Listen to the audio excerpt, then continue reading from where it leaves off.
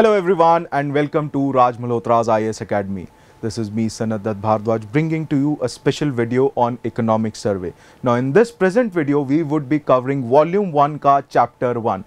Now the very first chapter talks about how to save lives and from saving lives how to move beyond and talk about saving livelihoods saving lives से saving livelihoods जहाँ पहले हम lives versus livelihoods की बात कर रहे थे आज हम लाइव्स एंड लाइवलीहुड्स की बात करेंगे। तो ये जो प्रोसेस रहा, किस तरीके से हमने इस प्रोसेस को फॉलो किया? How was our policy the humane policy to tackle this pandemic once in a century pandemic this crisis कैसे हमने उसको अप्रोच किया? Why was this pandemic unique and how our policy response was based on research analysis. इन सब चीज़ों की चर्चा करेंगे, जो कि यूपीएससी सिविल सर्विसेज़ एस्पिरेंट के लिए निहायत ज़रूरी है। चलिए शुरुआत करते हैं, देखते हैं सबसे पहले कि क्या क्या चीज़ें हमने कवर करनी है। सबसे पहली चीज़ we would be covering the theme and covid 19 it is one century crisis एक रिसर्च ड्रिवन पॉलिसी रिस्पॉन्स हमने रखा। क्यों? क्योंकि एक अनप्रेसिडेंटेड अनसर्टन इवेंट था। इस इवेंट को, इसी इकोनॉमिक सर्वे ने सिक्स सिग्मा इवेंट के साथ कंपेयर भी किया है। आगे आने वाले चैप्टर्स के अंदर हम इसी चीज़ को कवर भी करेंगे। What is a six sigma event एक ऐसा इवेंट जो बिलियंस ऑफ़ ईयर्स में एक बार हो। Rarest of rare event extremely rare event now that is why now क्यों ऐसा है कि कोविड 19 एक रेयर इवेंट रहा है? क्यों ऐसा है कि कोविड 19 इंड्यूस्ड इकोनॉमिक क्राइसिस एक रेयर इवेंट रहा है?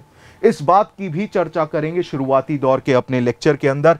Now apart from that India की जो ये ह्यूमेन पॉलिसी रिस्पॉन्स है, जहाँ पर आप short term pain long term gain की बात कर रहे हैं I am reminded of that quote from a movie unbroken I hope you must have seen that movie very motivational movie in that movie Louis Zamperini एक ऐसा athlete है, जिसको एक बात उसके बड़े भाई ने बोली, a moment of pain is worth a lifetime of glory. So basically, something on that line, जहाँ पे आप एक short term pain को महसूस करते हुए long term gains in economic terms उसकी तरफ़ जा रहे हैं। कैसे अप्रोच किया जाएगा? इकोनॉमिक सर्वे बताने की चेष्टा कर रहा है। Now major structural reforms for these short term pains and post that long term gains ये भी आज हम कवर करेंगे. And then I have some important facts for you guys जहाँ पर हम देखेंगे इकोनॉमिक रिकवरी के डिफरेंट टाइप्स ऑफ़ कर्व्स कौन कौन से होते हैं. Apart from that we would be covering one more important aspect and that is money laundering and how money laundering is correlated with this particular aspect of economic survey जहाँ पे हम saving lives and livelihoods की बात कर रहे हैं. And with that, we would also be covering one important thing, and that is pradhan mantri garib kalyan yojana. So देरी ना करते हुए फटाफट से शुरुआत करते हैं लेकिन शुरुआत करने से पहले now let's consider economic survey की शुरुआत इकोनॉमिक सर्वे पहली चीज़ तो एक नॉन बाइंडिंग डॉक्यूमेंट है 1950-1951 का जो पहला हमारा बजट सत्र हुआ था, उसमें बजट के साथ ही इस डॉक्यूमेंट को पार्लियामेंट के अंदर प्लेस किया गया था। नाउ ये जो प्रैक्टिस थी कि आप बजट के साथ ही अपने इकोनॉमिक सर्वे की डॉक्यूमेंट को प्लेस करेंगे पार्लियामेंट के अंदर this practice was left in 1964 1964 के अंदर हमने इस प्रैक्टिस को छोड़ दिया। अब दोनों चीज़ों को अलग कर दिया गया है। अब इकोनॉमिक सर्वे जो है बजट से पहले पेश कर दिया जाता है। एक और खास बात दारोमदार किसके ऊपर है? डिपार्टमेंट ऑफ़ इकोनॉमिक अफेयर्स के ऊपर। लेकिन इस इस पूरे डॉक्यूमेंट को प्रिपेयर करने में किसका हाथ है? It is the chief economic advisor and वो ही इस पूरे डॉक्यूमेंट को प्रिपेयर करते हैं with the help of his team इस बार का जो इकोनॉमिक सर्वे है, उसमें एक खास बात यह है कि इस बार हमने जो डेटा है, उठाया है जीएसटी नेटवर्क और इंडियन रेलवे से, ताकि हम ये समझ सकें कि गुड्स और पीपल जनता को अक्रॉस स्टेट्स जो मोबिलिटी मिली है वो किस तरीके की मिली है? सो so, उसका भी एक एनालिसिस इसी इकोनॉमिक सर्वे की डॉक्यूमेंट के अंदर है जो कि 2020-2021 का डेटा आपके सामने पेश करता है। Now moving on let's begin with the economic survey now the economic survey यहाँ हमारा लेक्चर बिगिन हो रहा है वहाँ पे इकोनॉमिक सर्वे शुरू हो रहा है विद द पावमन मंत्र पावमन मंत्र क्या है? पावमन मंत्र है ओम असतो मा सदगमय तमसो मा ज्योतिर्गमय। O Lord from this darkness take me to light आप क्या बात कह रहे हैं? आप कह रहे हैं कि ये जो डार्क फ़ेज़ है मेरी ज़िंदगी के आसपास उससे आप मुझे लेकर जाइए अंधकार से प्रकाश की ओर। This is something that we used to uh, recite because I am a product of education system system. वहाँ पे बहुत ये मंत्र का उच्चारण होता है। ये मंत्र कहाँ से उठाया गया है? प्रिलिम्स पॉइंट ऑफ़ व्यू से थोड़ा इंपॉर्टेंट है। Now this has been introduced from Brihadaranyaka Upanishad. Brihadaranyaka Upanishad जो है, वो फोर्टींथ कांड ऑफ़ शतपथ ब्राह्मण, शुक्ल यजुर्वेद का पाठ है। एंड उसको लिखा किसने है? यजनावल्क्या जी ने। यजनावल्क्या जी से एक इंपॉर्टेंट फैक्ट मुझे याद आ जाता है because feminism is in vogue इस वजह से एक बात याद आती है that there was an ancient feminist by the name of Gargi So just make sure that you remember this fact that Gargi and Yajnavalkya had a heated debate and she won. She won the debate with her logic and with her intensity.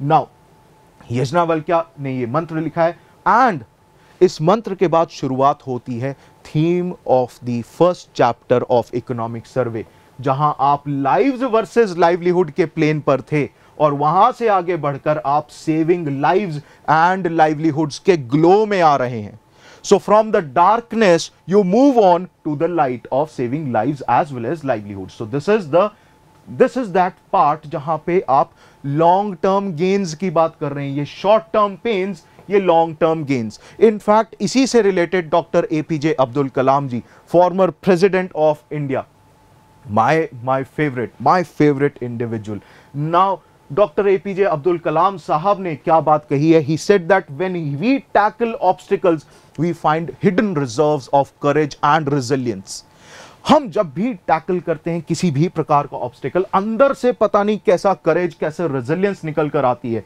हमारा बस एक ही काम है। हमें पता नहीं था कि हमारे पास थी। We did not know we had we only need to find them and move on with our life उसी करेज उसी रेजिलियंस को ढूंढिए। पकड़िए और ज़िंदगी में आगे बढ़ चलिए। ये डॉक्टर एपीजे अब्दुल कलाम साहब ने कही थी और इसी थॉट के साथ हम भी आगे बढ़ते हैं। आगे देखते हैं हमने क्या क्या चीज़ें कवर करनी है। Now let's discuss why this particular crisis this economic crisis which has been induced by a health pandemic क्यों ये यूनिक है?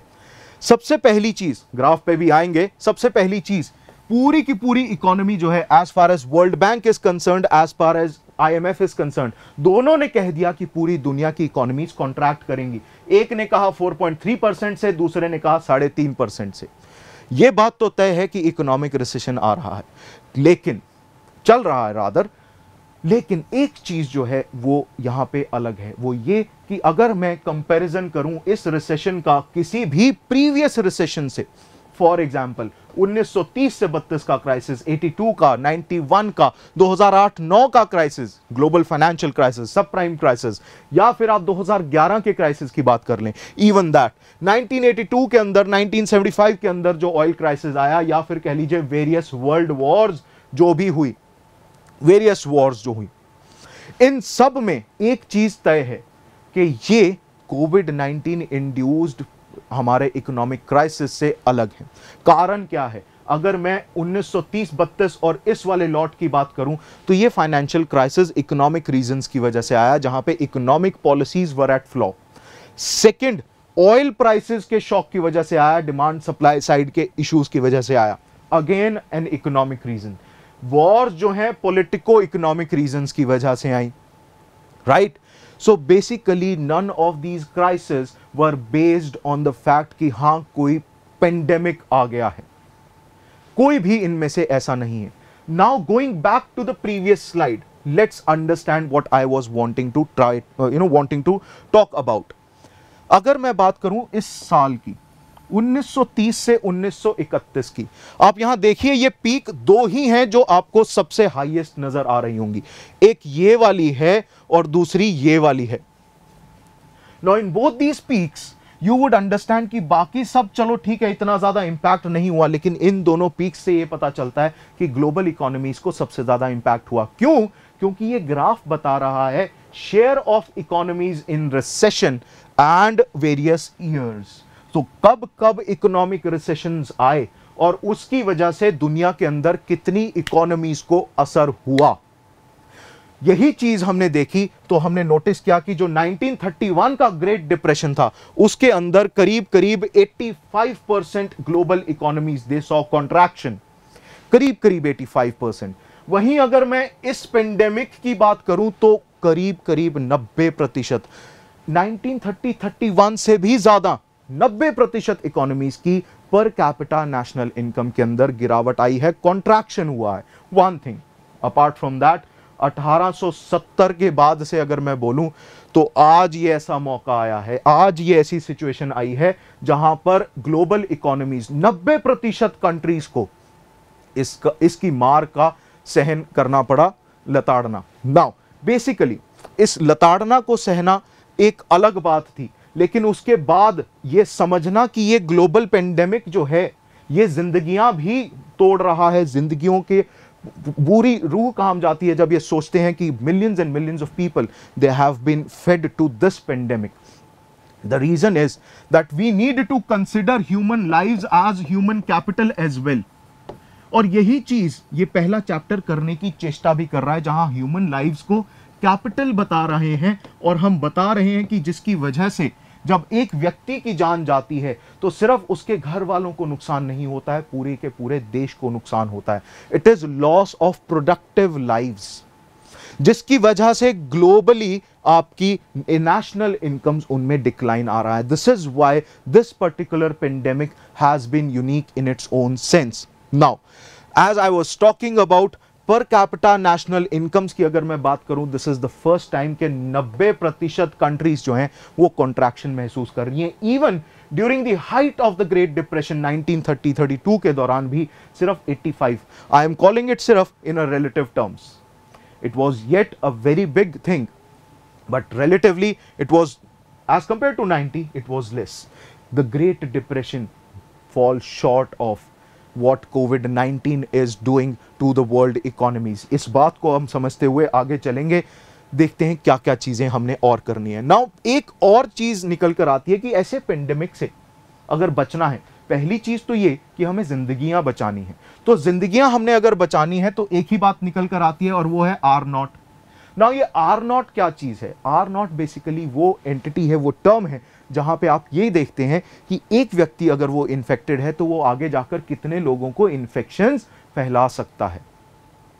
नाउ आर नॉट ज़्यादा होने का मतलब यह है कि एक ही व्यक्ति बहुत सारे लोगों को इन्फेक्शन फैला सकते हैं। और अगर आपको ऐसे पेंडेमिक से बचना है तो आप दो फंडामेंटल स्ट्रैटेजीज अपनाएँगे। This particular economic surveys chapter is also talking about it. Apart from that, we have been discussing this throughout the pandemic. पहली चीज़ तो है मिटिगेशन स्ट्रैटेजी जहाँ पर आप आर नॉट को कम करने की कोशिश करेंगे। अगर आर नॉट फोर है फाइव है तो उसको धीरे धीरे करके रिड्यूस करने की कोशिश करेंगे। You use mitigation strategies that is one thing apart from that अगर आपको इस पूरे पेंडेमिक को सप्रेस करना है कि जो ग्रोथ रेट ऑफ़ इंफेक्शन है, वो धीरे धीरे करके डाई आउट हो जाए। वो कब होगा? जब एक व्यक्ति एक अभी व्यक्ति को इन्फेक्शन सही तरीके से पास ऑन ना कर पाए, वो कब होगा? जब आर नॉट एक से भी नीचे चला जाए। जब एक व्यक्ति एक व्यक्ति को भी इन्फेक्शन पास ऑन ना कर पाए। अब इसी के ऑपोजिट सिचुएशन समझ लेते हैं, जहाँ पर सिचुएशंस खराब हुई थी। जिन स्टेट्स में सिचुएशन खराब हुई, वहाँ पे क्या हुआ था? आर नॉट जो है, ज़रूरत से ज़्यादा बढ़ गया था। And that situation is known as super spreading that I have written right here now super spreading की जहाँ हमने बात करनी है इट इज़ ओकेजनली जहाँ पे एक ही व्यक्ति दसियों और कई सौ लोगों को ट्रांसमिशन जो है, वो पास ऑन कर देता है, वो ट्रांसमिट कर देता है इन्फेक्ट कर देता है। This is a very dangerous situation as you can very well imagine now अब इन सब चीज़ों को टैकल करने के लिए एक अप्रोच निकल कर आई एंड ये अप्रोच फर्गसन एंड अदर्स ये जो एट अल लिखा हुआ ना साइंटिफिक टर्म्स में इसको साइंटिफिक uh, या रादर लैटिन टर्म्स में इनको बोला जाता है and others so Ferguson and others ने 2020 की अपनी रिसर्च में बोला कि ठीक है आप वैक्सीन के ऊपर काम करते हैं लेकिन उसके अलावा एक चीज़ और होती है जिसको कहा जाता है नॉन फार्मास्यूटिकल इंटरवेंशन ये जो नॉन फार्मास्यूटिकल इंटरवेंशन है इनको आप अंडरमाइन मत कीजिए। इसकी बहुत ज़्यादा अहमियत रहती है। अहमियत क्या रहती है? अगर आप इन सभी नॉन फार्मास्यूटिकल इंटरवेंशन को सही मायने में इंप्लीमेंट करें तो आप अपने हेल्थ केयर की डिमांड को दो तिहाई से कम कर सकते हैं। By two third you can bring them down then death rate को 50 प्रतिशत तक गिरा सकते हैं। This was one particular aspect जो कि फर्गसन एंड अदर्स ने अपनी रिसर्च में बोला। नाउ फर्गसन एंड अदर्स की जो ये रिसर्च है, इसके अंदर एक बात निकल कर आती है एंड वो क्या है? आपको कौन सी मिटिगेशन पॉलिसीज़ कौन सी ऑप्टिमल मिटिगेशन पॉलिसीज़ फॉलो करनी होगी? पहली चीज़, जो व्यक्ति इंफेक्टेड है, उसको होम आइसोलेशन में रखिए। जो उसके कांटेक्ट में आया है, उसको होम क्वारंटीन में रखिए। फिर एल्डरलीज का स्पेशली ध्यान रखते हुए सोशल डिस्टेंसिंग नॉर्म्स फॉलो कीजिए। Social distancing will help you apart from that जो मोस्ट रिस्क पे है hand sanitization hand washing and उसके बाद आपके मास्क वेयरिंग इन सब स्ट्रैटेजीज को अगर आप फॉलो करते हैं तो आप मृत्यु दर को 50 प्रतिशत तक गिरा सकते हैं। और आप अपने हेल्थ केयर बजट को दो तिहाई तक, उसके ऊपर जो डिमांड का बर्डन आने वाला है, उसको कम कर सकते हैं। क्यों? क्यों इस चीज़ की बात हो रही है? कारण यह है कि इंडिया के अंदर ICUs intensive care units all अच्छा सिस्टम है, हम बना रहे हैं हमने कोशिश भी की कि जब पेंडेमिक के दौरान लॉकडाउन लगाया हुआ था तो हमने उस समय के दौरान we started creating infrastructure for ICUs हमने बहुत सारे हॉस्पिटल्स को इस लेवल तक लाने की चेष्टा भी की थी। लेकिन आज सच्चाई ये है कि हमारे यहाँ पे हेल्थ केयर सेक्टर की मैं बात करूँ तो वहाँ पे इंफ्रास्ट्रक्चर की कमी है। इनफैक्ट अगर मैं बजट्स की भी बात करता हूँ तो बजट्स के हिसाब से डब्ल्यूएचओ ने एक बात बोल रखी है, वो ये कि आपको हेल्थ केयर स्पेंडिंग जो है पाँच परसेंट ऑफ़ योर जीडीपी करनी चाहिए। हम एजुकेशन पे तो समवेयर अराउंड 4.3 परसेंट खर्च करने की बात करते हैं। हम कर भी रहे हैं इस हद तक।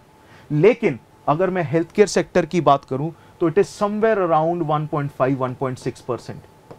और हमने अपनी हेल्थ पॉलिसी के अंतर्गत बोला हुआ है कि हम इसको ढाई गुना तक, ढाई परसेंट तक लेकर जाएँगे। 2.5 परसेंट ऑफ़ जीडीपी और डब्ल्यू कितना बोलता है? 5 परसेंट नाउ बात यह आती है कि जहाँ अगर मैं यूके जैसी कंट्रीज़ की बात करूँ, जो नौ परसेंट के आसपास खर्चा करती हैं, वो तक फेल हो गई। उनके रोबस्ट इंफ्रास्ट्रक्चर्स भी फेल हो गए। उनके आईसीयूज भी थोड़े पड़ गए थे जब ये पेंडेमिक फैला। सो ऐसे में इंडिया कैसे मिटिगेट करने की कोशिश कर रहा है, इस चीज़ को समझना बहुत ज़रूरी है। And how this chapter presents the way decision was taken किस तरीके से पॉलिसी फ्रेमिंग हुई, उन सब चीज़ों की चर्चा आगे हम करते हैं। चलिए। नाउ अपार्ट फ्रॉम दैट हमने एक चीज़ और सुनी थी। हमने सुना कि एक एक आइटम एक एक कह लीजिए एक हमारा कॉन्सेप्ट है that is of herd immunity herd immunity का क्या कॉन्सेप्ट है? कहा गया कि जब बहुत सारे लोगों को and this is something which is closely, very closely related to something that we used to read in plus one, plus two, and वो ये था ली शैटलेयर्स प्रिंसिपल ली शैटलेयर्स प्रिंसिपल जो है ना, ये साइंस में चलता होता है. लेकिन इसका क्लोज रिलेशन है जो साइंस स्टूडेंट्स हैं, वो इस बात को समझ पाएँगे। हर्ड इम्यूनिटी के अंदर अगर बहुत सारे लोगों को इन्फेक्शन हो जाएगी अगर हम लॉकडाउन नहीं लगाते, बहुत सारे लोगों को अगर इन्फेक्शन होने देते हैं then what would happen is कि सब के सब के अंदर एक वो वायरस का एक यू नो कह लीजिए बीज हो जाएगा। इन दैट सेंस जब वायरस को ज़्यादा से ज़्यादा होस्ट्स नहीं मिलेंगे, क्योंकि वायरस ज़िंदा है होस्ट की वजह से। वायरस को जब होस्ट नहीं मिलेगा, क्योंकि बॉडी के अंदर वायरस ज़्यादा देर तक ज़िंदा रह रहा है, लेकिन अगर सरफेस की बात करें तो उस पर वो ज़्यादा देर तक ज़िंदा नहीं रह पा रहा है। इसीलिए कहा गया कि होम क्वारंटीनिंग की जाएगी, सैनिटाइजेशन ड्राइव्स की जाएँगी तो सब कुछ सही हो सकता है। सो वायरस ज़िंदा नहीं रह पा रहा है ऐसे। ऐसे में उसको होस्ट चाहिए जिसके ऊपर वो फ़ीड करे। नाउ अगर हर्ड इम्यूनिटी की मैं बात करूँ तो वो इसी प्रिंसिपल के ऊपर बेस्ड था जहाँ सब लोगों को अगर मैं कहूँ, अगर 50 परसेंट से ज़्यादा या 60 परसेंट सेवेंटी परसेंट पूरी दुनिया में अगर वायरस जो है वो इन्फेक्ट हो जाते हैं, लोग इन्फेक्ट हो जाते हैं then as simple as that virus खुद से अपने आप ही उसकी इन्फेक्शन जो है वो, उसका रेट डाउन आना शुरू हो जाएगा। This was something that was expected लेकिन इसमें एक कैच है। और वो कैच इतना बड़ा है कि हमारा दिल दहल जाए। क्यों? क्योंकि इसकी वजह से हज़ारों की तादाद में एक्स्ट्रा मौतें हो सकती हैं। एंड हेल्थ सिस्टम्स जो हैं आईसीयूज जो हैं, वो दे वुड बी ओवरवेल्ड कारण? यहाँ पे केस फेटेलिटी रिस्क बहुत ज़्यादा है। मतलब एक व्यक्ति अगर इन्फेक्टेड है तो उसके मृत्यु होने के चांसेस कितने ज़्यादा हैं? यहाँ पे बहुत ज़्यादा हैं as far as COVID 19 is concern इसी वजह से हमने हर्ड इम्यूनिटी के कॉन्सेप्ट को सही मायने में पकड़ा नहीं। Now it would have an adverse impact on economic activity as well क्यों? क्योंकि you are not just losing lives you are losing productive lives आप उन जिंदगियों को खो रहे हैं जो आगे जाकर या अभी इसी समय जीडीपी में कुछ ना कुछ कंट्रीब्यूट कर रहे थे, चाहे सप्लाई साइड से, चाहे डिमांड साइड से, या फिर कैसे भी। नाउ मूविंग ऑन बेसिकली अगर मैं इंडिया की बात करता हूँ तो मिड सितंबर फ़र्स्ट वीक के आसपास हमारा मिड सितंबर के आसपास हमारा फ़र्स्ट पीक जो है आ गया था, जहाँ पे number of cases they went on to become the ठीक है जी? उसके बाद अगर मैं वही कंपैरिजन यूरोपियन कंट्रीज़ के साथ करूँ तो यूरोपियन कंट्रीज़ के अंदर इतना इंटेंस लॉकडाउन नहीं लगा था जितना इंटेंस लॉकडाउन इंडिया के अंदर लगा था। एंड बात यह भी देखी गई थी that most of these countries including US वहाँ पे एंटी लॉकडाउन प्रोटेस्ट वगैरह भी होने लगे थे। एंटी लॉकडाउन अप्रोचेज निकल कर आने लगी थी। लेकिन आज अगर आप देखें तो इन्हीं यूरोपियन कंट्रीज़ में including US deadly second and third waves की बात चल रही है। India is yet aloof of that particular position अभी वहाँ पर नहीं आया है। Now after nation wide lockdown हमने क्या सोचा? हमने सोचा कि इसको धीरे धीरे ईज आउट करेंगे। एंड पहले जो डिसीज़न मेकिंग सेंट्रलाइज्ड मैनर में हो रही थी, जहाँ पे PMO was the decision making authority अब पीएमओ एक एडवाइजरी अथॉरिटी हो गया है, सारा डिसीज़न मेकिंग प्रोसेस डिसेंट्रलाइज हो गया है स्टेट्स के लेवल पर चला गया। Now uh, let's consider policy analysis here. Policy analysis, this tells us that at that point of time, we needed to have a worldwide approach. ये world wide approach होना बहुत ज़रूरी था उसी अप्रोच के तहत हमने इस डिसीज़न मेकिंग प्रोसेस को सेंट्रलाइज किया we would be talking about it जहाँ पे मैं हेल्थ सेक्टर की जब बात करूँगा अगले आने वाले लेक्चर्स के अंदर वी वुड डिस्कस कि कैसे हेल्थ जो है एज अ सब्जेक्ट वो स्टेट लिस्ट में किस तरीके से काम करता है और कैसे सेंटर उसमें अपना रोल अदा करता है। Now the initial stringency in the states that significantly impacted in controlling the spread of cases as well as deaths. India के अंदर ये बेनिफिट हुआ। जहाँ जहाँ स्ट्रिंजेंट लॉकडाउन लग पाए, वहाँ वहाँ पे सही तरीके से आप जिंदगियाँ बचा पाए। This particular chapter is professing this idea apart from that अगर आप नोटिस करें तो समवेयर अराउंड यहाँ पे आप देखेंगे फ़र्स्ट ऑफ़ अप्रैल एंड यहाँ पर अगर आप देखेंगे फ़र्स्ट ऑफ़ अप्रैल तक आते आते इस पूरे रीजन में लालों लाल हो जाएगा। This is basically the infection rate ये इन्फेक्शन रेट आपको बता रहा है। एंड इसी इन्फेक्शन रेट को कर्ब करने के लिए हमारा पॉलिसी रिस्पॉन्स क्या था? वो अब आगे जाकर हम देखते हैं। नाउ इंडिया का जो केस है, पहले तो ये समझ लें कि इंडिया का case is a sui generis. What is sui generis? It means a very unique idea, a very different idea which needs different approach. Sui generis मतलब a genre in itself. तो इंडिया जो है India का अपनी अपनी situation अपनी economic political social situation it is a case in itself it is a unique case in itself कारण क्या है एक नहीं दो नहीं तीन बताऊँगा पहली चीज़ ह्यूज पॉपुलेशन ह्यूज पॉपुलेशन पहली चीज़। दूसरी चीज़ high population density huge population का फ़र्क यह पड़ता है कि भैया ये जो स्प्रेड है this is a function of network effects कि जितने ज़्यादा लोग लोग होंगे। देखो, ऐसा है कि इस पॉइंट ऑफ़ टाइम पे मुझे इस बात से सलमान भाई की वो याद बात याद आ रही है, जो जय हो में उन्होंने बोली थी कि मैं तेरी मदद कर रहा हूँ, तू आगे जाकर तीन लोगों की मदद करेगा। वो आगे तीन लोग, तीन तीन तीन लोगों की मदद करेंगे। वो तीन तीन तीन लोग, तीन तीन तीन तीन तीन तीन तीन तीन तीन लोगों की मदद करेंगे। ऐसे अब मैं पूरा नेटवर्क मार्केटिंग वाला सिस्टम नहीं एक्सप्लेन करने जा रहा हूँ। लेकिन हाँ मैं आपको जो चीज़ बताना चाह रहा हूँ कि इसी तरीके से ये कोविड भी फैला। तो शायद हमने ये बात सुनी हो, ना सुनी हो, लेकिन कोविड ने ये बात सुन ली थी और वो इसी प्रोग्रेस के तरीके से आगे बढ़ता रहा।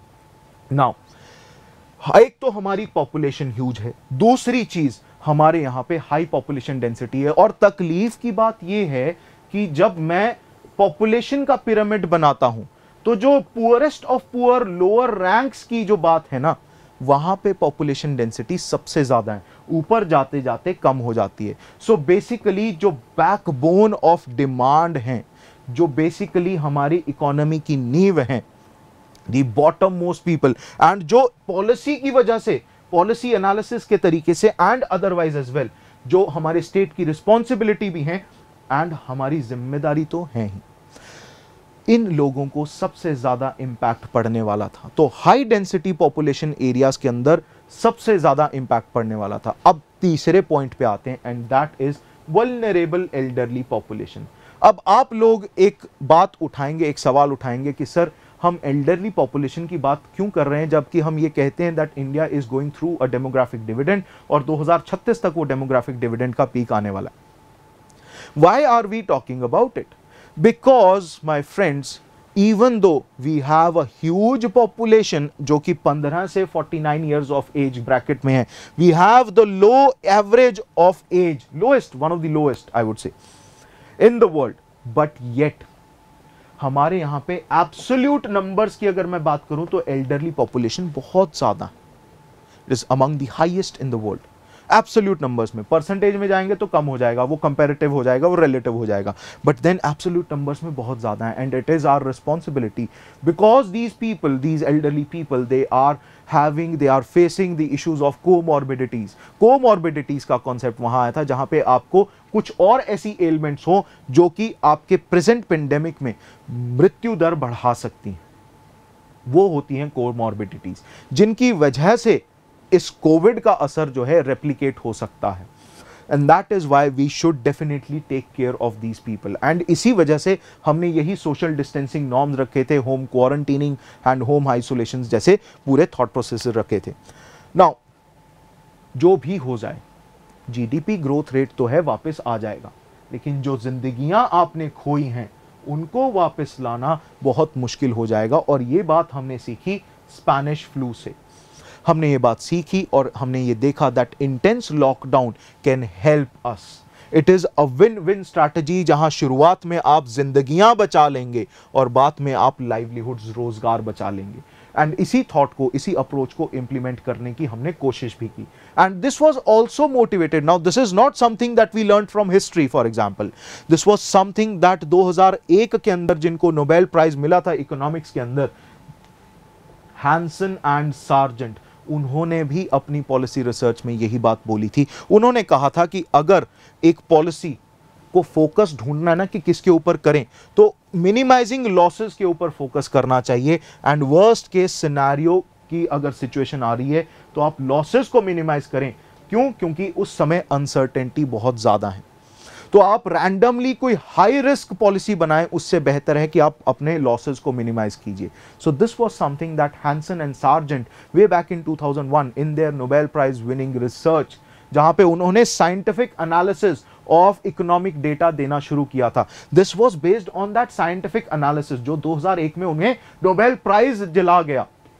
इसी वजह से हमने इस अप्रोच को और इससे लेसन सीखते हुए आगे अपने कदम उठाए थे and the intense lockdown was only based on this idea basis क्या था? That this policy will be based on humane principles जहाँ पे जीडीपी ग्रोथ रेट तो हम फिर से मैं बोल रहा हूँ वापस ले आएँगे, लेकिन जो जिंदगियाँ जा रही हैं, उनको वापस लाना बहुत मुश्किल हो जाएगा। I can relate to that feeling to impose restrictions will impose us to this particular contagious threat and इसीलिए बहुत ज़्यादा जिंदगियाँ जो हैं, वो मृत्यु के घाट उतर सकती हैं। इसी बात को सोचते हुए हमने इंटेंस लॉकडाउन लगाया। Now basically the economic impact of lockdown and closures that led to a loss of economic activity and इसकी वजह से रोज़गार बहुत लोगों के चले गए। उस समय ऐसा माहौल था that each and every individual was facing this रात जहाँ पे नौकरियों को खतरा हो गया शंटिंग होनी शुरू हो गई। इनफैक्ट बहुत जगह पे रिट्रेंचमेंट्स भी हुई। बहुत परेशानियों का सामना करना पड़ा। बहुत सारे लोग वर्क फ्रॉम होम कर रहे थे। There was so many situations you and I we both know this now as far as the lockdown period is concern government ने क्या किया? गवर्नमेंट ने उस लॉकडाउन पीरियड को यूटिलाइज करके कोशिश की कि medical as well as paramedical infrastructure को हम इंप्रूव कर सकें। एंड उसके साथ साथ हमने सर्वेलेंस बढ़ाई we expanded testing contact tracing कि आप अगर इन्फेक्टेड हैं तो आप किस किस के कॉन्टैक्ट में आए हैं, इन सबको ट्रेस करना, फिर उसके बाद isolation and management of various cases उसके साथ साथ आपने सिटीजन्स को एजुकेट करना शुरू किया कॉलर ट्यून्स लग गई। पूरा विश्व कोविड महामारी से ग्रस्त है। ये सब बातें आनी शुरू हो गई। अब इस साल एक नई उमंग, नई नई किरण लेकर आया है, ये वैक्सीन के रूप में। अब ये चीज़ चेंज हो गई। Why because now we are moving on from saving lives and we are moving towards lives and livelihoods मेरी हैंडराइटिंग इतनी गंदी नहीं है जितनी दिख रही है। Now lives and livelihoods. So this approach that this chapter is also talking about. So हमारी strategy जो थी वो tailored थी। क्यों? क्योंकि हमें ह्यूज पॉपुलेशन को केटर करना था।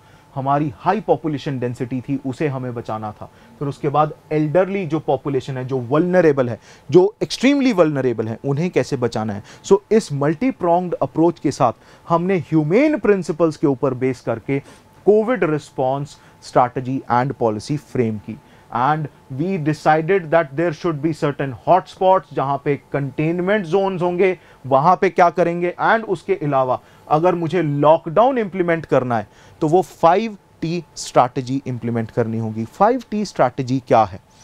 Testing tracking tracing treatment and technology यहाँ टेक्नोलॉजी की मैं बात जब करता हूँ तो एक बेस्ट एग्ज़ाम्पल इसका है आपका आरोग्य सेतु ऐप है ना मोबाइल फोन्स में? सबने डाउनलोड की होगी उस समय के दौरान।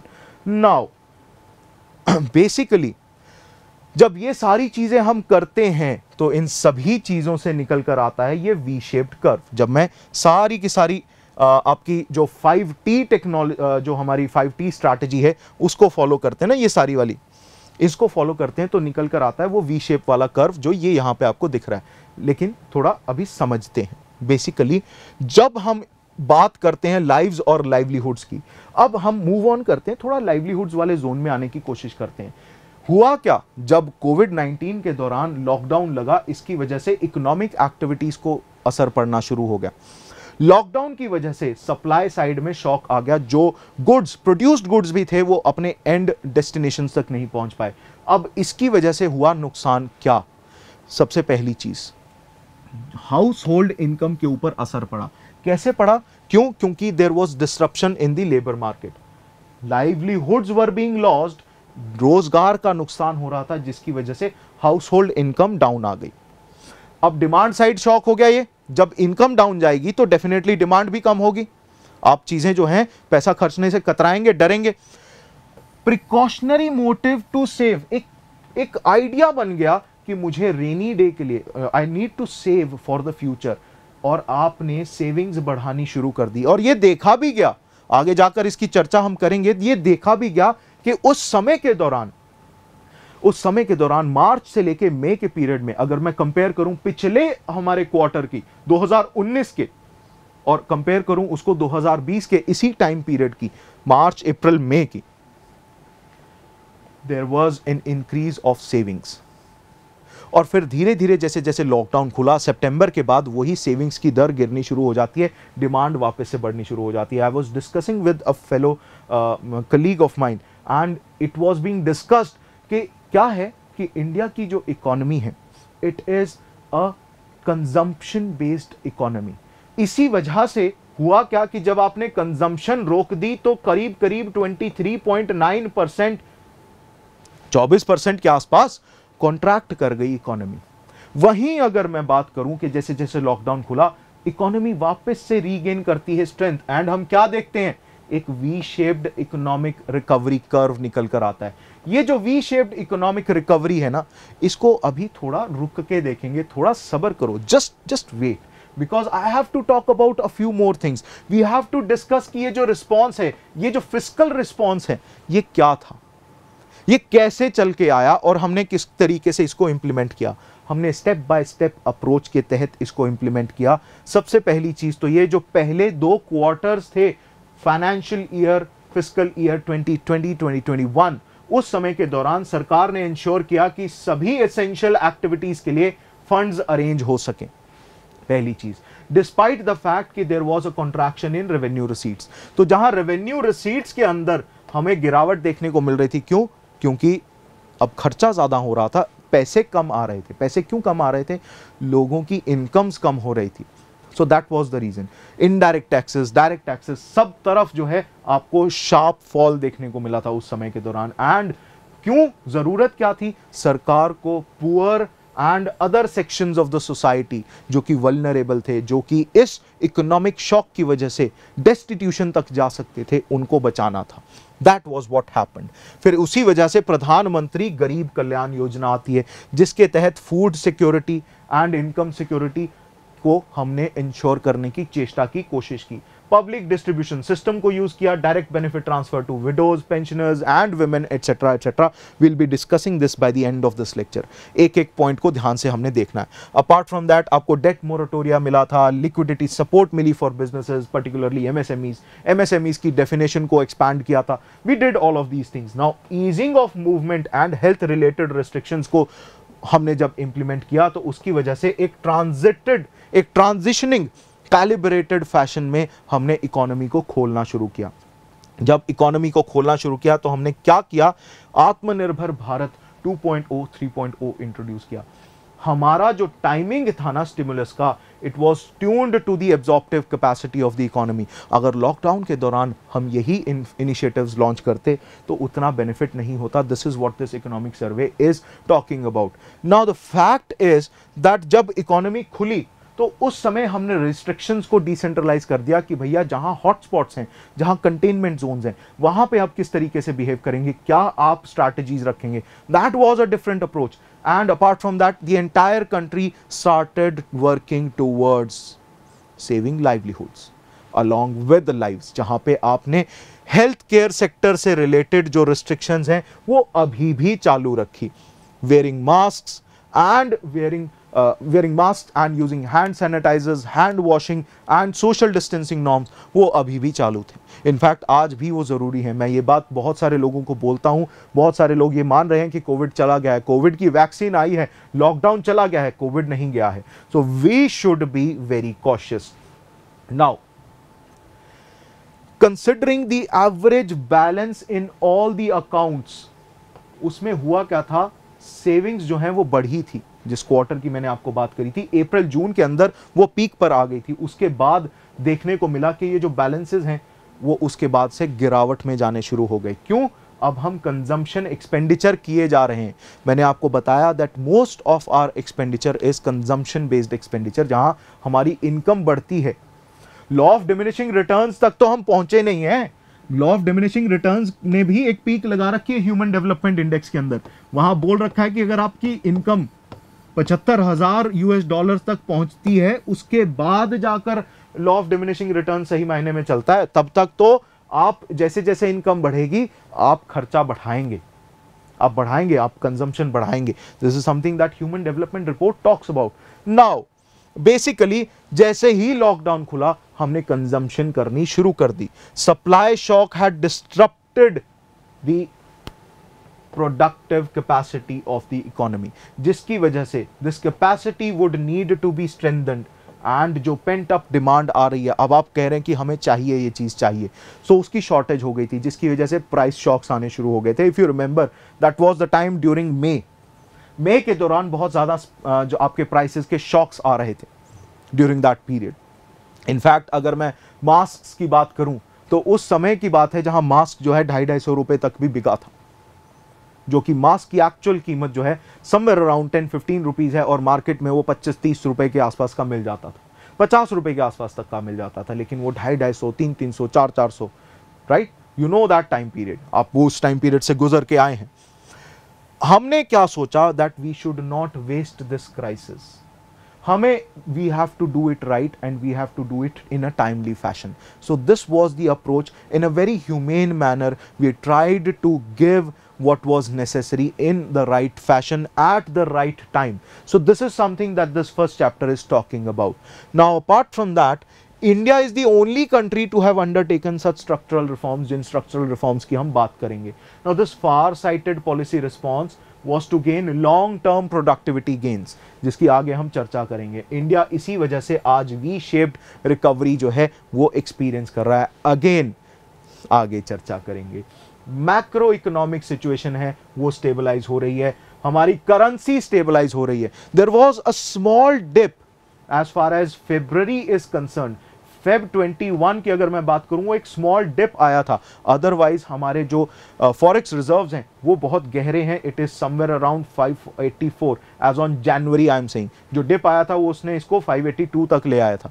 582 बिलियन यूएस डॉलर्स तक हमारे फॉरेक्स रिजर्व्स हैं। And it is way more than our entire external internal external debt चाहे वो सॉवरन है, चाहे नॉन सॉवरन है। इवन अगर प्राइवेट सेक्टर के डेट की भी मैं बात करूँ, जो लाइबिलिटीज की बात करूँ it is to overall debt जो इंडिया के ऊपर है it is somewhere around 556 billion US dollars उससे ज़्यादा है हमारा फॉरेक्स रिजर्व्स आज हम चाहें तो आज ही रिपे कर दें। We will be talking about it in the upcoming lecture now basically हमारे पास बर्जॉनिंग मतलब इंप्रूविंग एंड एनहांसिंग गहरे होते जा रहे फॉरेक्स रिजर्व्स हैं because RBI is taking it very seriously it does not want anything like 1991 coming close to India anytime soon or in the uh, you know far far future as well.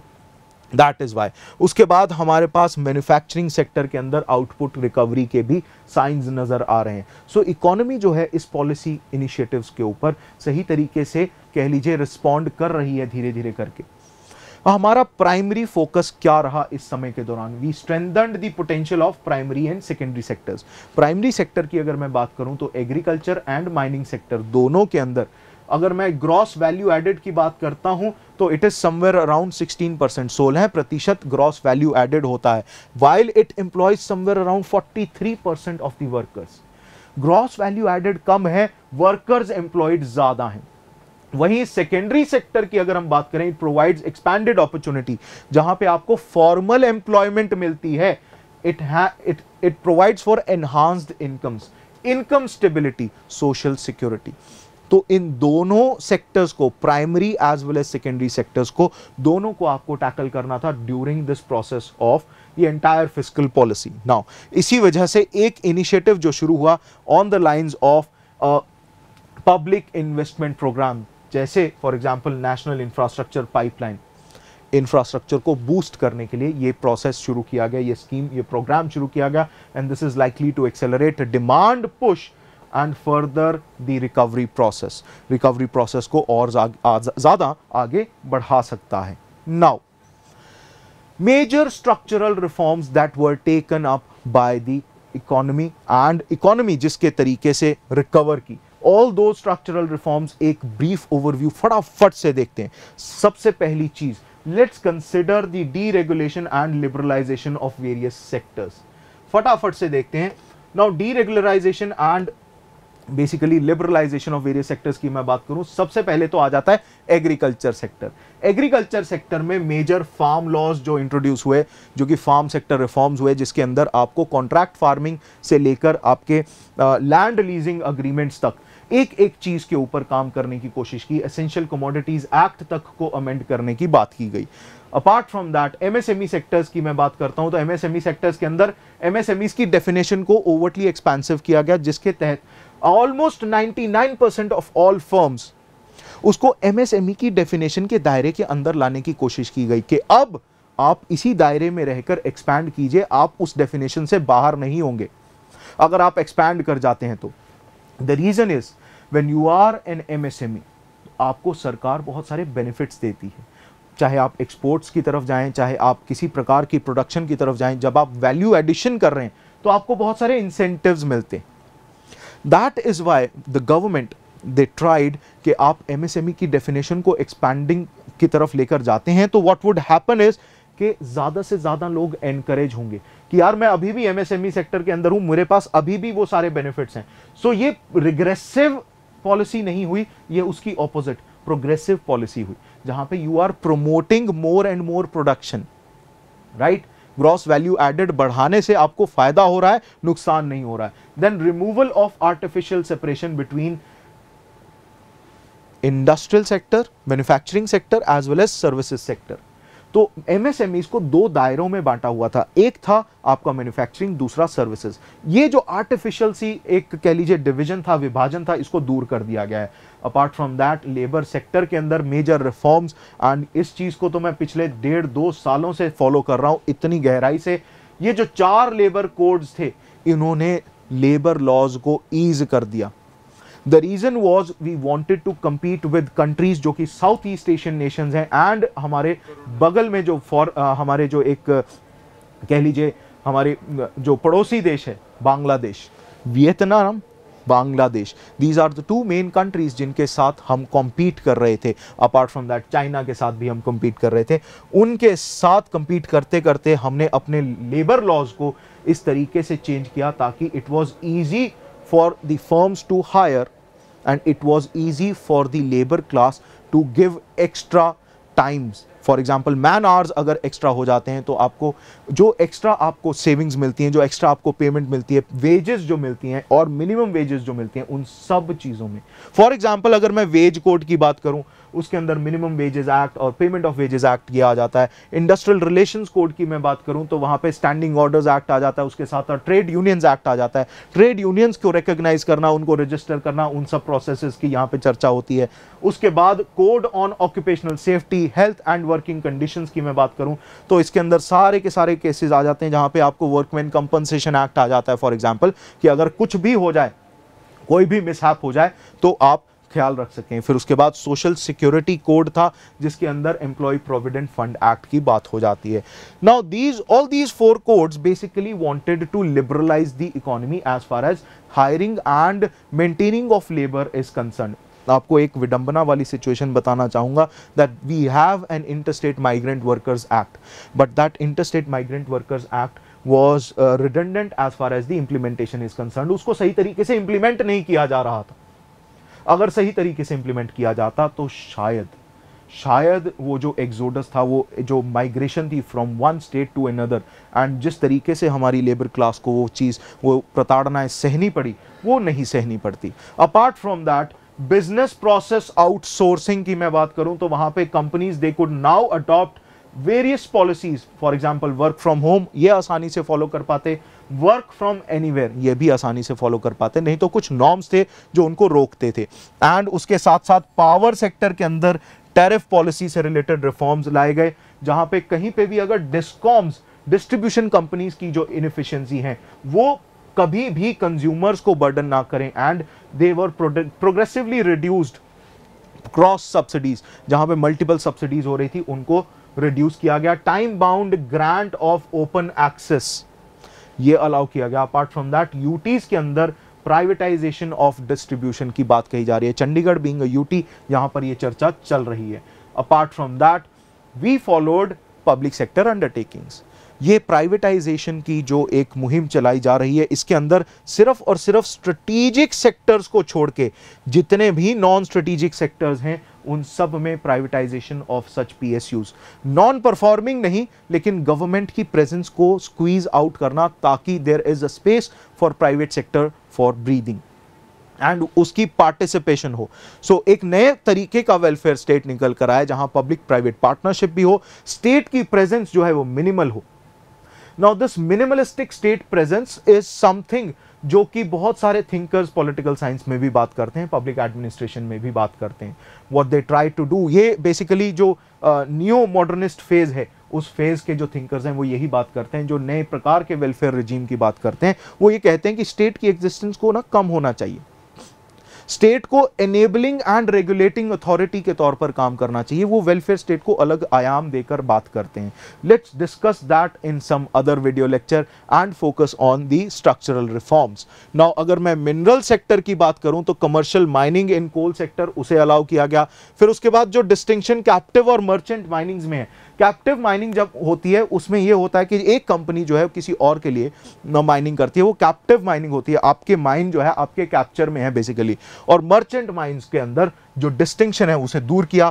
फिर transparency in auctioning process उसके साथ साथ stamp act को थोड़ा amend किया गया ताकि throughout the states क्योंकि स्टैंप ड्यूटी जो है, वो स्टेट्स के हक में जाती है। Now throughout the states एक यूनिफॉर्मिटी आ सके। अपार्ट फ्रॉम दैट एक seamless composite exploration mining production regime आ सके। नहीं तो आपको याद होगा, एक प्रोडक्शन का लाइजनिंग का और माइनिंग का अलग अलग लाइसेंस होता था। अब एक्सप्लोरेशन का माइनिंग कम प्रोडक्शन का एक सिंगल रिजीम हो सिंगुलर रिजीम उसको फॉलो किया जाए ताकि ज़्यादा दिक्कत ना आए माइनिंग के सेक्टर के अंदर। अपार्ट फ्रॉम दैट अगर मैं प्रोडक्टिविटी कैपेसिटी को बढ़ाने की बात करूँ तो सरकार ने उसके अंदर क्या इनिशिएटिव्स लिए, उनको समझ लेते हैं। Now production linked incentive scheme for 10 identified sectors 10 sunrise sectors उनको बोला और बोला कि चार से छह परसेंट आपको इंसेंटिव मिलेगा अगर आप प्रोडक्शन बढ़ाते हैं तो। National GIS enabled land bank system को लॉन्च किया, जिसमें यह दिखाया जाएगा, ये देखा जाएगा, समझा जाएगा कि लैंड की जो यूटिलिटी है, वो सही तरीके से हो पा रही है या नहीं हो पा रही है। Apart from that what we did was liberalised the space sector private sector को लेवल प्लेइंग फ़ील्ड देने की बात कही गई।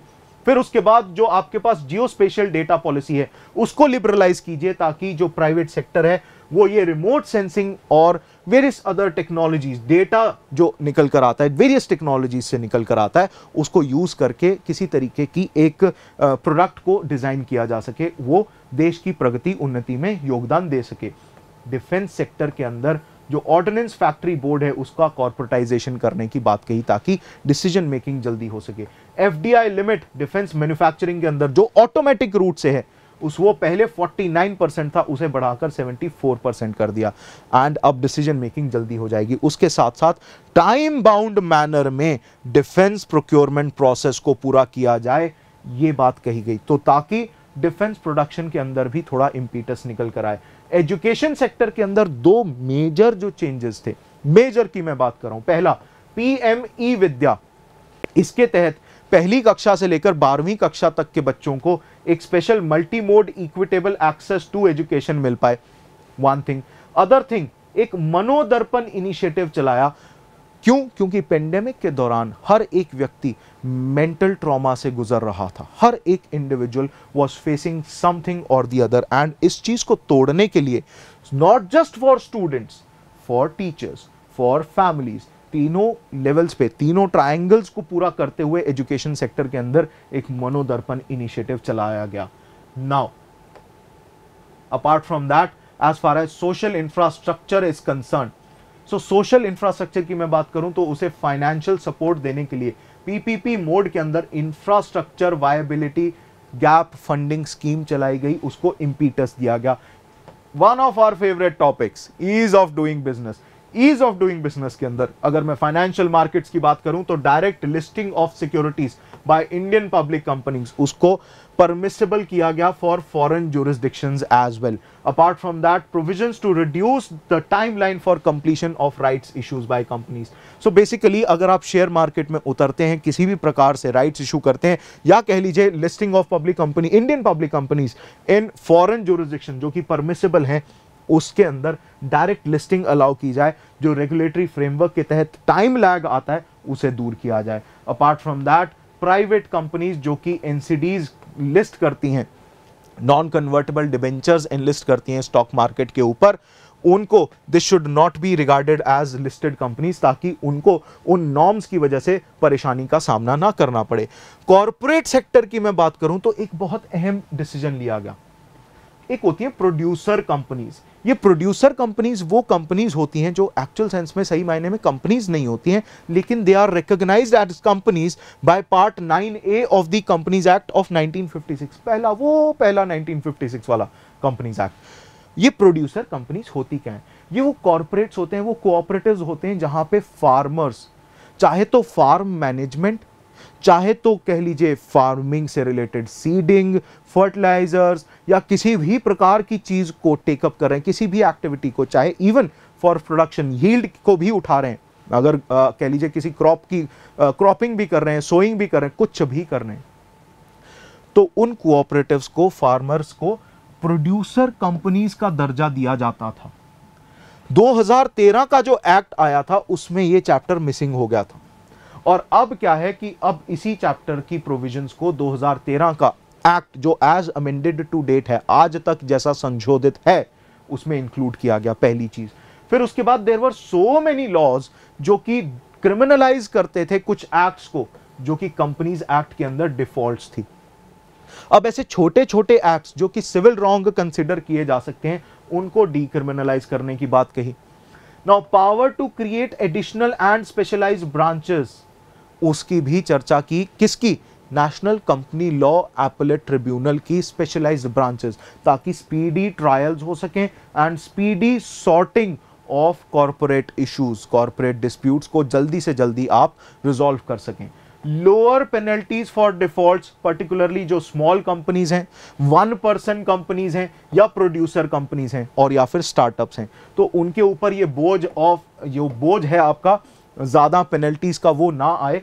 छोटे डिफॉल्ट्स हैं और या कह लीजिए डिफॉल्ट्स मान लीजिए for small companies one person companies producer companies and even startups उनको लोअर किया जाए। पेनल्टीज कम की जाए। Apart from that proforma simplified proforma for incorporating company electronically plus ये स्पाइस प्लस इनिशिएटिव इंट्रोड्यूस कर दिया, ये एमसीए के अंडर आता है। Apart from that administrative reforms की मैं बात करूँ तो एक नेशनल रिक्रूटमेंट एजेंसी होगी। जो एक कॉमन एलिजिबिलिटी टेस्ट कंडक्ट करेगी, जिसके तहत रिक्रूटमेंट होगी इन वेरियस गवर्नमेंट डिपार्टमेंट्स तो उसको स्ट्रीमलाइन करना। अपार्ट फ्रॉम दैट एक रिवाइज्ड गाइडलाइंस इशू की, जिसके तहत कंपलसरी रिटायरमेंट होगी उन ऑफिशियल्स की, जो या तो सही तरीके से परफॉर्म नहीं कर रहे हैं इनइफेक्टिव हैं, या फिर करप्ट हैं। So all these initiatives now after covering these initiatives, let's talk about major important facts. These facts are really important so just make sure that you listen very carefully यहाँ से question source हो सकते हैं। सबसे पहली चीज़ the government it talked about smooth dispersal of fund as far as Pradhan Mantri Garib Kalyan योजना is concern और इसी वजह से जो prevention of money laundering act के जो नॉर्म्स हैं, उनको कुछ ट्वीक किया गया था ताकि जो भी डिसफंक्शनल कह लीजिए, जो नॉन फंक्शनल हो गए हैं, कुछ बैंक अकाउंट्स उनको फंक्शनलाइज किया जा सके। टू इंश्योर कि जो आप डायरेक्ट बेनिफिट ट्रांसफ़र कर रहे हैं अंडर दिस रिलीफ पैकेज वो प्रधानमंत्री गरीब कल्याण योजना के अंतर्गत, वो बेनिफिशरीज तक इजीली पहुँच सके। नाउ कहा क्या गया? कहा यह गया कि government is to transfer 500 hundred rupees per month for three months to poor and vulnerable sections of the society जिससे जिनको लाइवलीहुड का इम्पैक्ट हुआ है, जिनकी जिनकी जिंदगियों में रोज़गार जो है वो चला गया है, उनको मदद मिल पाएगी। The beneficiaries they will now be able to withdraw without any problems कोई एडिशनल डॉक्यूमेंट की उनको ज़रूरत नहीं पड़ेगी, जो कि अदरवाइज़ ज़रूरत पड़ती। क्यों? क्योंकि उनके बैंक अकाउंट जो है वो बंद हो गए थे। रूल्स वर अमेंडेड ताकि प्रधानमंत्री जनधन अकाउंट्स जो basic saving accounts small accounts those accounts जो पिछले कुछ समय से इनऑपरेबल हो गए हैं due to non completion of KYC norms या फिर उसमें आपने अपनी इंफॉर्मेशन अपडेट नहीं की। इन सब नॉर्म्स को ट्वीक करते हुए बाईपास करते हुए दीज अकाउंट्स जो शायद पिछले दो साल से इनऑपरेटिव पड़े हों, उनको फंक्शनल कर दिया गया है ताकि आप अपने बेनिफिट्स जो हैं, जो सरकार की तरफ़ से डायरेक्ट बेनिफिट ट्रांसफ़र हो रहा है, उसका फ़ायदा, उसका लुत्फ उठा सकें।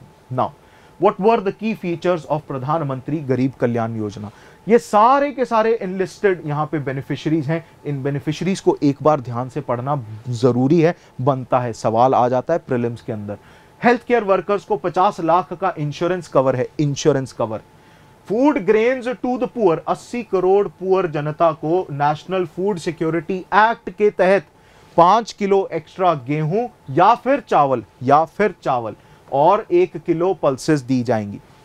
अपार्ट फ्रॉम दैट मनरेगा वर्कर्स जो कि करीब करीब पौने चौदह करोड़ के आसपास है 13.63 crore wage will be increase पहले एक सौ रुपए प्रतिदिन थी, अब उसे दो सौ दो रुपए।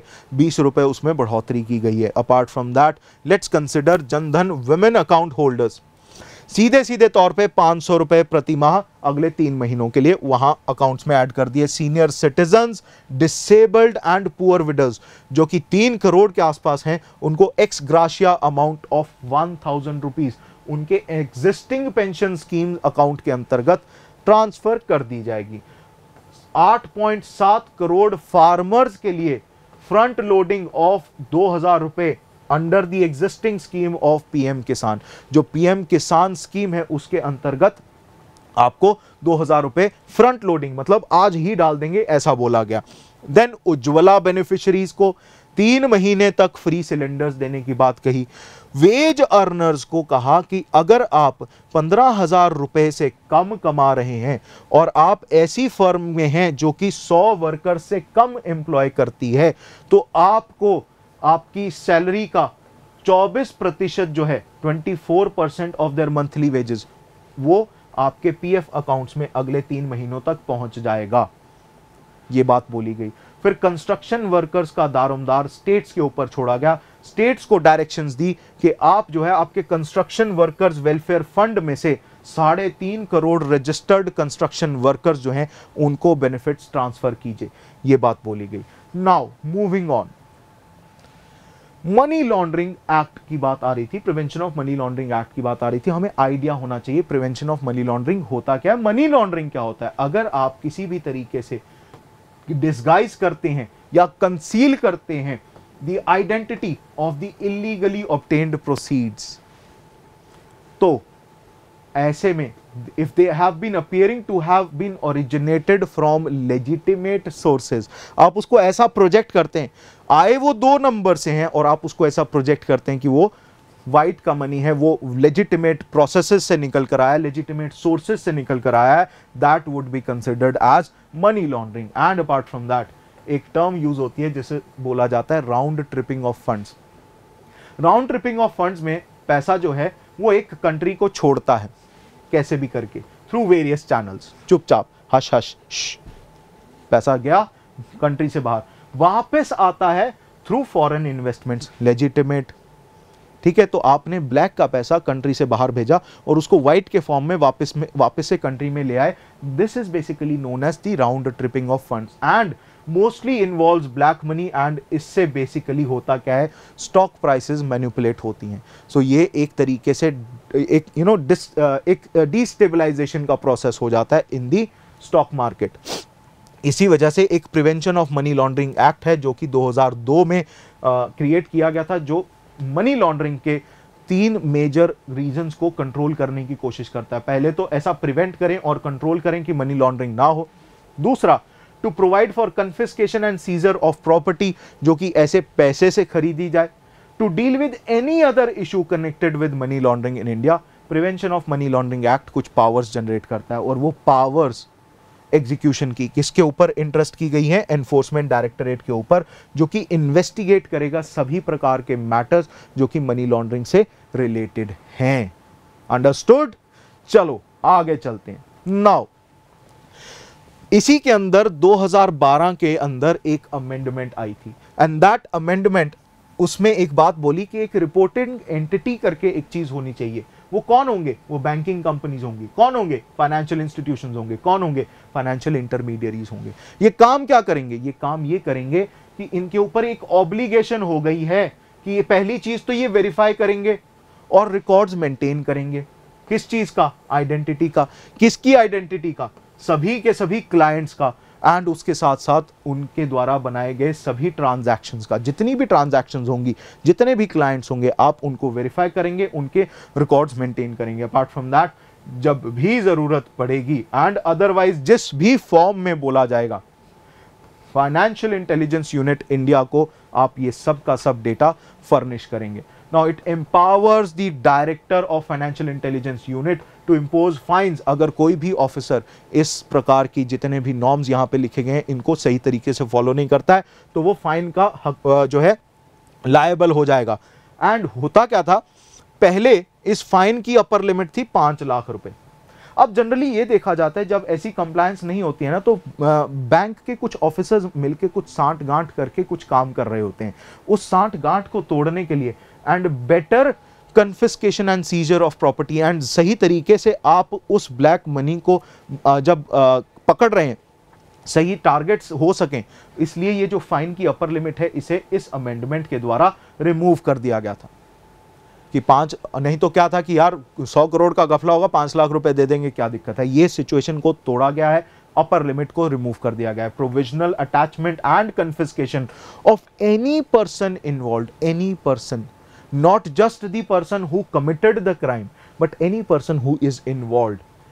उसकी प्रॉपर्टी कन्फिस्केट हो सकती है, उसकी प्रॉपर्टी अटैच हो सकती है। अटैचमेंट ऑफ़ प्रॉपर्टी का मतलब कल को अगर आप पैसा नहीं वापस करते हैं, जिसके आप लायबल हैं तो आपकी प्रॉपर्टी को लिक्विडेट करके बेचकर वो पैसे की भरपाई की जाएगी। ये होता है attachment attachment is not a very simple thing apart from that what is financial intelligence unit and India की जो हमारी FIU है it is basically a central national agency जो इसी प्रकार की डेटा को रिसीव करने के लिए प्रोसेस करने के लिए एनालाइज करने के लिए and disseminating of information with regard to any suspect जो कि फाइनेंशियल ट्रांजेक्शन यूज़ कर रहा है। एंड अदर एनफोर्समेंट एजेंसीज के साथ इसका टाइप रहता है।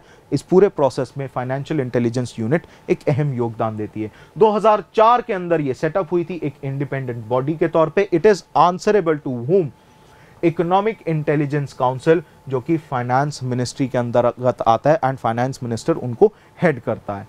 Now let's talk about various various shapes of economic recoveries हम जिस बात की चर्चा बड़ी देर से कर रहे हैं V shaped economy V shaped economic recovery उसको अब समझ लेते हैं। लेकिन सबसे पहले हमने क्या समझना है? सबसे पहले हमने समझना है सबसे best case scenario that is Z shaped recovery अब जब जेड शेप्ड रिकवरी की मैं बात करता हूँ this is the most most optimistic scenario कारण क्या है कि यहाँ पे देखो इकोनॉमिक रिसेशन आया। फिर इकोनॉमिक रिकवरी होनी शुरू हुई। और इतनी हो गई कि जितनी पहले जीडीपी चल रही थी ना, उसको भी सरपास कर गया। तो इस, ये चीज़ किसको नहीं चाहिए? फिर उसके बाद थोड़ा सा डिप आया और हम नॉर्मलाइज हो गए। This is the most optimistic scenario कि जब हम नीचे गिरे, गिरते हैं शह सवार ही मैदान जंग में, वो तिफल क्या गिरेंगे जो घुटनों के बल चरेंगे? तो हम गिरे, हम संभले और ऐसा संभले कि दुनिया देखने लग गई। तो this is the most optimistic scenario and यहाँ पे होता क्या है? We make up for more than just the lost ground जितना हमें नुकसान हुआ है, उससे कई ज़्यादा हम कमा लेते हैं। एंड इकोनॉमिक डिस्ट्रप्शन जो है, वो छोटे पीरियड के लिए। Now if you notice in this particular graph आप अगर नोटिस करेंगे तो सिर्फ़ इतने पीरियड के लिए ये इकोनॉमिक डिस्ट्रप्शन जो है चल रही है। लेकिन इसका जो यहाँ से लेकर यहाँ तक का फ़ेज़ है, दोबारा साफ़ करके दिखाता हूँ। जो ये फ़ेज़ है ए यहाँ से लेकर यहाँ तक का। ये फ़ेज़ तो बहुत बढ़िया फ़ेज़ है। सो बेसिकली डिसरप्शन जो है वो यहाँ और यहाँ थोड़े समय के लिए चल रही है basically otherwise there is a turmoil but yet नुकसान ज़्यादा नहीं हो रहा है। नाउ यहाँ पे इससे ज़्यादा कि हम समझें कि लोगों की इनकम्स को नुकसान हो रहा है? नहीं इनकम्स को इतना नुकसान नहीं हुआ। उनकी ability to spend that is restricted वो खर्चा कम कर रहे हैं, ये हो रहा है। इस वजह से इकोनॉमी के अंदर रिसेशन भी आता है, इस वजह से ही ये ग्रोथ वापस से आ जाती है, जैसे ही लॉकडाउन खुलता है। ये है जेड शेप्ड रिकवरी काश ये हो, ये सब लोग सोचते हैं। लेकिन होता क्या है? होता है V shaped recovery V shaped जो है, ये नेक्स्ट बेस्ट सिनारियो है। This the next best scenario Z shaped recovery के बाद यही सबसे बढ़िया चीज़ है जो हो सकती है। क्या? इकोनॉमी जो है वो क्विकली रिकवर तो कर जाती है। अगर आप नोटिस करें तो सिर्फ़ यहाँ और यहाँ।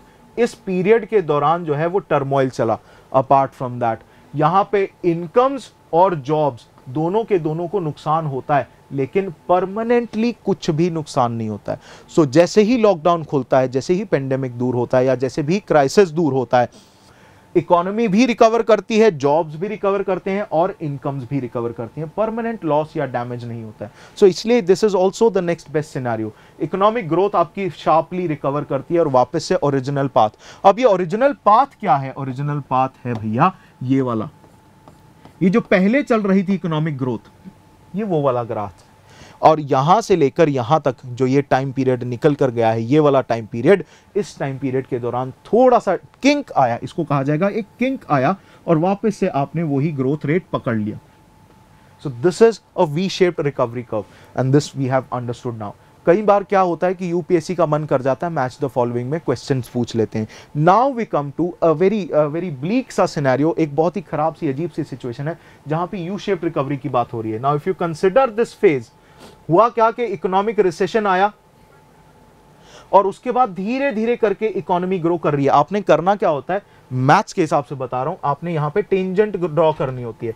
जब आप टेंजेंट्स ड्रॉ करते हो तो आपको आइडिया होता है कि यार इकोनॉमी जो है बहुत धीरे धीरे से, बहुत धीरे धीरे से वापस से रिकवर कर रही है। एंड दैट इज़ वाई एक तो होगा क्या? होगा ये कि बेसिकली अगर आप देखें तो there is a struggle with a low growth rate period हम बहुत समय तक लो ग्रोथ रेट के साथ ग्रस्त रहेंगे। दूसरी चीज़ rising gradually to the usual levels will be after some time यहाँ पे बहुत सारे रोज़गार, बहुत सारे jobs they will be lost people will fall upon their savings savings की दर गिर जाएगी। नाउ अगर यही चीज़ लॉन्ग ड्रॉन हो जाती है तो ये एक elongated U shape recovery curve बना देता है। वो एक बार देख लेते हैं, मैं ड्रॉ कर दूँगा, आपको समझ आ जाएगा। जस्ट इमेजिन दिस यहाँ पे एक रिसेशन आया और ये ऐसे ऐसे जाई जा रहा है जाई जा रहा है और जस्ट इमेजिन दिस ये था आपका नॉर्मल ग्रोथ रेट है ना? अब इसको अगर ड्रॉ करूँ, यहाँ पे जाकर रिकवर कर रहा है, इसको ड्रॉ करूँ, ये यहाँ पर जाकर रिकवर कर रहा है टाइम पीरियड बढ़ गया. This is elongated U shape ये तो बिल्कुल भी एडवाइजेबल नहीं होता है। अच्छा उसके बाद आगे चलते हैं। एक आ जाता है डब्ल्यू शेप ये बहुत खतरनाक सी सिचुएशन है। क्यों? मतलब मज़ाक की बात नहीं है, बहुत खतरनाक है। क्यों? यहाँ पे एक सिचुएशन ऐसी आ सकती है कि सेकेंड वेव अगर आ गई इकोनॉमी के अंदर तो वो वापस से इकोनॉमी के अंदर रिसेशन लाने की कोशिश करेगी। ये देख रहे हैं आप सेकेंड फ़ेज़ तो आप रिकवर कर रहे थे। हिम्मत करी आपने। आपकी हिम्मत तोड़ दी सेकेंड वेव ने। या कुछ ऐसा इवेंट हो गया जिसकी वजह से वापस से रिसेशन की तरफ़ चले गए। तो आप हद से हद क्या करते हैं? आप वापस से नॉर्मलाइज करते हैं और रिकवर कर जाते हैं। रिकवरी तो हो जाती है नो डाउट इकोनॉमी हमेशा रिकवर कर जाएगी. There will always be a brighter day a new day will come but अगर आप टाइम पीरियड देखें ना तो ये टाइम पीरियड बहुत ज़्यादा हो जाता है। इसके अंदर बहुत ज़्यादा नुकसान हो जाता है इकोनॉमी को। प्लस ये बहुत ही डेंजरस सिचुएशन इस वजह से भी है, क्योंकि ये बहुत फ्लक्चुएट कर रही है। इकोनॉमी को फ्लक्चुएशंस पसंद नहीं है। इकोनॉमी को छोड़िए, क्योंकि economics is basically a study of human behaviour ले देकर लोगों को, जनता को फ्लक्चुएशंस पसंद नहीं है। We are susceptible to change change is the only constant लेकिन इकोनॉमिक चेंजेस हमें पसंद नहीं है। हमें क्या है कि एक स्टेबल सोर्स ऑफ़ इनकम हो धीरे धीरे करके वो ग्रो करता रहे। हमें क्या है कि हमें पता हो कि आज के आज से पाँच साल बाद, हम क्यों सरकारी नौकरी की तैयारी इसीलिए कर रहे हैं ना? We need stability and security अगर इकोनॉमी में वो चीज़ नहीं आएगी ना तो इकोनॉमी के अंदर लोगों की कमर टूटने लगेगी। And this is why this is a very dangerous creature and generally ये ऐसा होता है, अगर पेंडेमिक की सिचुएशन है तो ये तब होता है जब आपका सेकेंड वेव हिट कर जाती है। एंड यहाँ पर ग्रोथ रेट फॉल्स फिर से राइज करता है। बट फॉल्स अगेन इससे पहले कि वो कंप्लीटली रिकवर कर जाए। ठीक है जी? नाउ अपार्ट फ्रॉम दैट एक और कर्व है, जो कि एक और खतरनाक से सिचुएशन पोज करता है, जहाँ पे economy fails to regain the levels of GDP even after years even after years आप यहाँ पे नोटिस कीजिए कि जहाँ मैं बात कर रहा हूँ, ये देखिए। ये देखो। अरे भाई पेन कहाँ गया? अरे रबड़ सेलेक्ट कर ली। ना जस्ट सेकेंड ए हाँ। ये देखो, यहाँ पे रिसेशन आ गया। मेरे साथ चलते रहना, समझ आ जाएगा सब। और यहाँ पे देखो ये इकोनॉमी रिकवर कर रही है। लेकिन इससे पहले जो ओरिजिनल लेवल्स थे, जो प्री कोविड बेस लाइन थी, वो तो ये थी ना, इसके हिसाब से अगर चलते तो यहाँ पे इकोनॉमिक ग्रोथ आनी चाहिए थी। अगर मैं इस टाइम पीरियड की बात करूँ तो इकोनॉमिक ग्रोथ इतनी है, इतनी। और होनी कितनी चाहिए थी? इतनी। तो इकोनॉमी के अंदर इतना नुकसान हो गया ड्यू टू कोविड तो ये लॉस जो है, ये परमानेंट है। यहाँ अगर आप देखें, मैंने यहाँ लिख भी रखा है that this loss is a permanent loss चाहे वो लाइव्स का हो, चाहे वो जॉब्स का हो। एक परमानेंट लॉस एक डेंट पड़ जाता है इकोनॉमी की एबिलिटी के ऊपर to produce certain things structural changes आ जाते हैं and not for good not for good so these are major curves of recovery now with that, let's end this lecture, in this particular lecture. And I will be back with another lecture जहाँ पे हम बात करेंगे अगले chapter की of economic survey volume one till then have an amazing day ahead because this particular chapter chapter in this particular lecture we had talked about so many things उस सबको concise कीजिए कंसॉलिडेट कीजिए। हम मिलेंगे अगले video lecture के अंदर. तब तक के लिए have an amazing day ahead God bless you all thank you bye